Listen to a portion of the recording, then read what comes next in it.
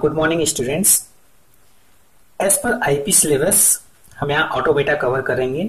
तो IP syllabus के according unit one जो फ़र्स्ट टर्म है अल्फ़ाबेट स्ट्रिंग्स एंड लैंग्वेजेस तो अल्फ़ाबेट स्ट्रिंग्स और लैंग्वेजेस रीड करते हैं। क्या होते हैं ऑटोमेटा में? तो फ़र्स्ट टर्म इज़ सिंबल्स तो सिंबल्स क्या होते हैं? लेटर्स डिजिट्स और any other characters for example A और बी ये लेटर्स हैं बट ये ऑटोमेटा में सिंबल्स की तरह यूज़ हो सकते हैं। ज़ीरो वन डिजिट्स हैं but as a symbols use हो सकते हैं। ऐसे हैश हैश एक करेक्टर है but as a symbol use हो सकता है। अल्फ़ाबेट नेक्स्ट टर्म है alphabet finite set of symbols तो फॉर एग्ज़ाम्पल सिग्मा हम नॉर्मली अल्फ़ाबेट को सिग्मा से रिप्रेजेंट करते हैं। तो सिग्मा एक अल्फ़ाबेट है, जो क्या कंटेन करता है? ए और बी सिंबल्स को।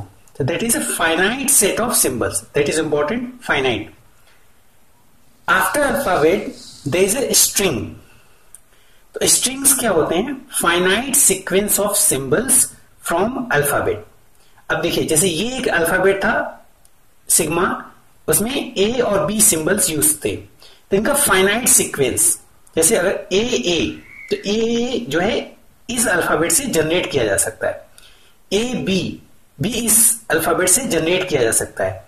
तो finite sequence of symbols from alphabet is known as strings तो स्ट्रिंग की कुछ लेंथ होती है, जैसे ए ए इसमें टू सिंबल्स यूज़ हैं।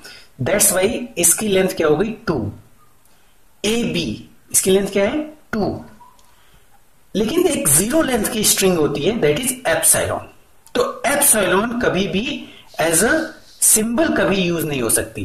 तो epsilon is also a string जिसकी लेंथ क्या है? ज़ीरो नेक्स्ट है लैंग्वेज तो लैंग्वेज क्या होते हैं? Set of strings over alphabet तो अल्फ़ाबेट क्या हमने रीड किया था? कि सेट ऑफ़ सिंबल्स तो ए बी हमारे सिंबल्स थे जिनका सेट हमारा क्या होगा? सिग्मा एक अल्फ़ाबेट है। और string finite sequence of symbols, जैसे ए ए और ए बी और लैंग्वेज क्या है? सेट ऑफ़ स्ट्रिंग्स और अल्फ़ाबेट तो एग्जांपल जैसे लेते हैं। Sigma A comma B A comma B symbols हैं और सिग्मा इज़ अल्फ़ाबेट। तो इस पे one length one length string क्या हो सकती है? ए और बी ए क्योंकि वन ही करेक्टर है। तो इसकी लेंथ क्या होगी? वन। ऐसे बी है B itself one character one symbol का है तो इसकी लेंथ क्या होगी? वन। तो एक language L one is a set of strings जिसकी क्या लेंथ हो? वन।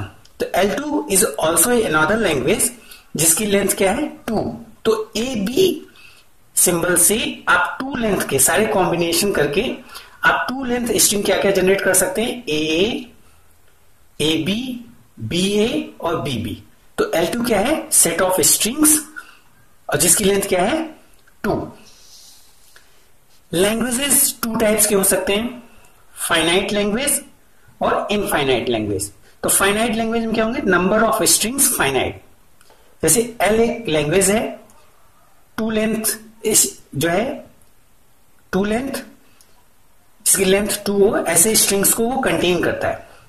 तो A A A B B A B B तो ये फाइनाइट सेट है स्ट्रिंग्स का तो दैट्स वाई एल क्या है? फाइनाइट लैंग्वेज तो इनफाइनाइट लैंग्वेज क्या होंगे? जिसमें इनफाइनाइट स्ट्रिंग एग्जिस्ट करते हो। तो नंबर ऑफ़ स्ट्रिंग्स इनफाइनाइट जैसे एल इक्वल टू ए की पावर एन बी की power N such that N is greater than equal to zero तो एन की कोई भी इनफाइनाइट वैल्यू आप यहाँ पुट करेंगे तो आपको यहाँ से स्ट्रिंग जनरेट हो सकती है।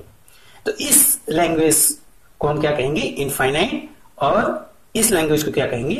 फाइनाइट नेक्स्ट हम इसमें देखते हैं।